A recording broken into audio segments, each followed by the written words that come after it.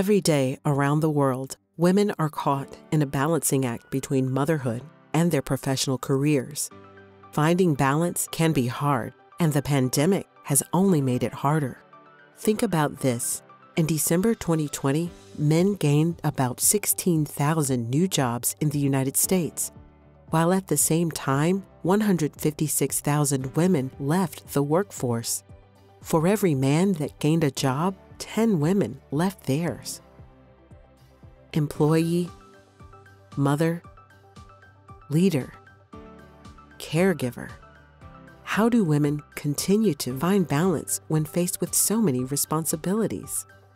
To find out, we asked working mothers at Ciena to share their insight and advice. In my family, I have two children, uh, aged 18 and 12. I have uh, two boys and a girl. I have a daughter, and her name is Zoe. She's uh, just about a year and a half now. I have one son, three-year-old son. His name is Henrique. In addition to looking after my uh, my two daughters, I um, I look after my dad uh, in Spain when I go back a couple of times a year. I was previously taking care of my dad. Um, I am an only child. He had kidney disease and he also had dementia. My son suffers with Crohn's disease. There was a balancing act with having to take care of dad, uh, taking him to his doctor's appointments, and making sure that my son gets to his appointments. For a while, I, I used to make a joke and say, you know, I feel like a Uber driver. Gwendolyn thinks that my job is making calls, which is true connecting uh, cables or wires uh, across the ocean. They said, I don't know, something with numbers. she makes really cool videos about liquid spectrum that you can see on YouTube. For her, it's like the next invention that's better than sliced bread.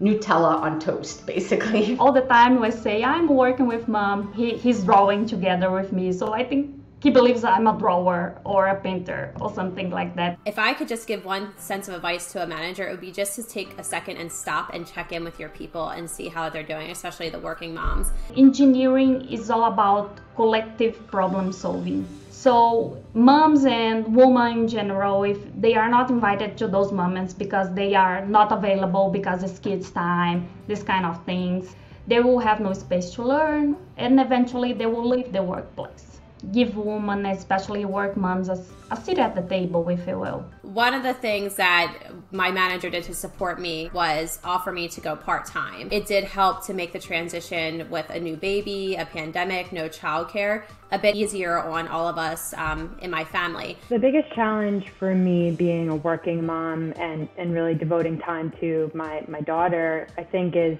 really the fear of missing out. Just fitting that together time and time management trying to juggle everything together and maintain balance trying to keep them entertained trying to keep the learning going them fed and not just throwing Oreos on the table, which does happen sometimes. Instead of single parent, we should be called double parent.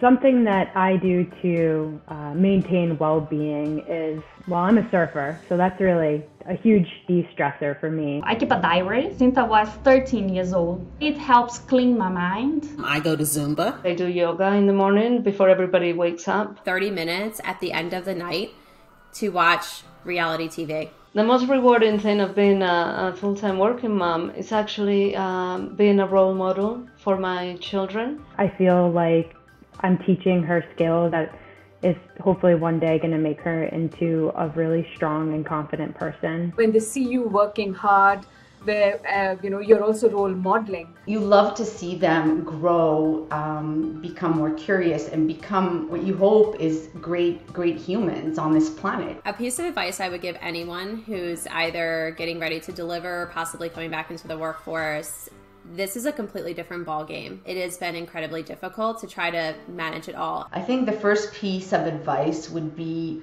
don't be so hard on yourself. You're not always going to get everything done. We can have it all, but we can't do it all alone. Be present in the time that you do have with your family and just being really intentional about that. I try to focus on quality time, maybe over quantity of time. I kind of lay out the week and set the expectations. My daughter has anxiety, and so for her, it's very important that you tell her what's happening. It Doesn't always go perfect, but at least I set the right expectations and I start my week in that path. I have these open conversations with my children all the time. If there are things that I need to change, then I work on that. And we just do it together. All those years I was working tireless to get an ad, to have a name in the industry. Being out for six months, it was hunting me because technology changed so fast, and I thought, I'm going to lose this this edge that I built in my career. If I would say something to my colleagues is that